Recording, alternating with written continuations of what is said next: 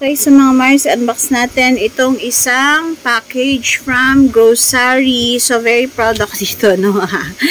Kasi, ang total nito is 1,053. Ang pinangbayad ko dito ay Grow Coins na worth 700 pesos. So, sulit na sulit talaga itong grocery kasi um, sa bawat delivery niya ay meron siyang Grow Coins. Yung Grow Coins na yon ay pwede mo rin ipin ng bayad. Plus, no, kaya ako rin nakapag-earn ng malaking Grow Coins na pinambayad ko sa box na ito ay dahil nag nag-start na ako ng aking bills payment. So, nagbayad ako sa Meralco at sa pag-ibig na pang personal pa lang. Pero, yun nga, no, dahil lagi naman na tayong nagbabayad ng ating mga bills, no, bakit hindi natin via grocery na, no? Dahil doon mag-earn ka pa ng points at meron pa yung 7 days before mag-due. So, open na natin tong laman nitong box na ito.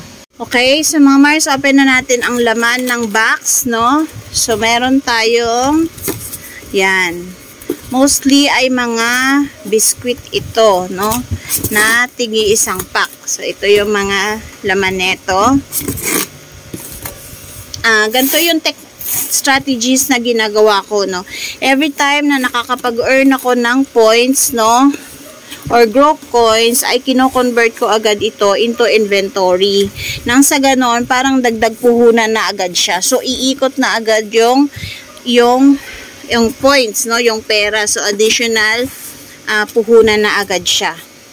So, imagine mga Mars, no, sa worth 700 pesos, no, or worth 1,000 pesos, ganito na siya kadami sa grocery. Kasi sa grocery, ay at a distributor's price sila. So, talaga napakamura. Tapos, free delivery pa siya. So, save ka na ng time. Hindi na hassle sa'yo yung magpag-grocery. Antayin mo na lang sa bahay ang iyong mga orders. So, ito na yung laman niya. So, one box ng cream, ay one pack ng cream O vanilla and choco. Merong combi. Tapos 10 pieces netong pillows. Merong dalawang magic sarap na naka-promo which is um, 16 packs na to. No? Ay, hindi pala to naka-promo.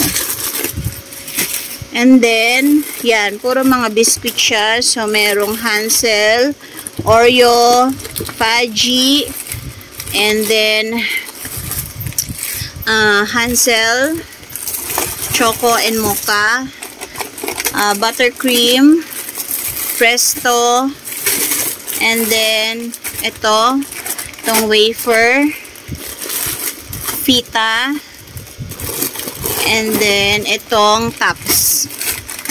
And then merong bingo, Faji, yan, Nissan, Nissan wafer, and then Oreo. So, ito na ang laman ng lahat ng ating box from grocery which is we paid by using our grow coins na worth 700 pesos.